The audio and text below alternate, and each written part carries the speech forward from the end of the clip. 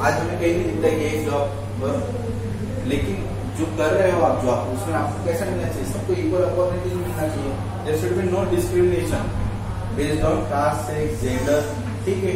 और कौन से कौन से होते हैं आपके कल्चर होते हैं ट्रेडिशनल होते हैं कोई विदाउट एनी डिस्क्रिमिनेशन सबको कैसे अपॉर्चुनिटी मिलनी चाहिए? अपनी लाइफ प्रॉपरली लीड करने की, ठीक है?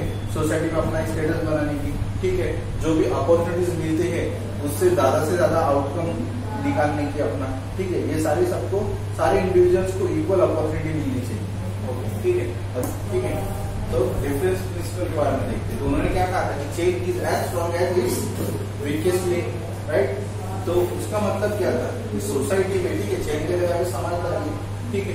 समाज में समाज एक अच्छा और बेहतर समाज और समुदाय हम सब कहेंगे, ठीक है। जो लिस्ट एडवांटेज ग्रुप जो है सोसाइटी का, उन्हें भी हम सारी अपॉर्चुनिटी सारे राइट्स ठीक है, वो सारा न्याय दे। तभी समाज कैसा बन सकता है हमारा? थोड़ा स्ट्रांग बनता है, ठीक है। और इसी डिफरेंस प्रिंसिपल से वो क्या कहते हैं? रिजर्वेशन को? सपोर्ट्स रिजर्वेशन ठीक है। अभी आज के लिए इतना पढ़ते हैं। नेक्स्ट लेक्चर में हम इनकी क्रिटिक्स पढ़ेंगे। इनके मेन क्रिटिक्स में कौन कौन आएगा? ठीक है communitarian critics like Michael Walzer ठीक है, उसके बाद में माइकल सैंडल आएँगे, ठीक है। और लाइब्रेटरी क्रिकेट क्रिटिक्स में हम देखेंगे रॉबर्ट नॉजिक ओके जिन्होंने क्रिटिसाइज किया था।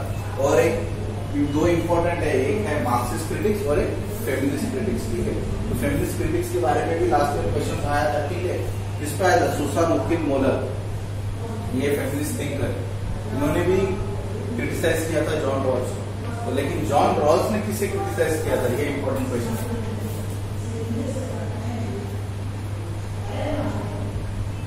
यूटिलिटेरियनिज्म जॉन रॉस ने किसे क्रिटिसाइज किया था? यूटिलिटेरियनिज्म क्या था ये? ठीक है यूटिलिटेरियनिज्म क्या था?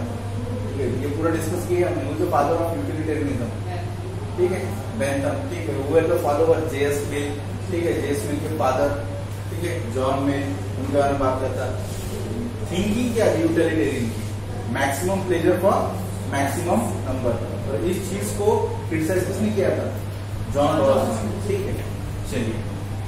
Rest will discuss in our next lecture thank you very much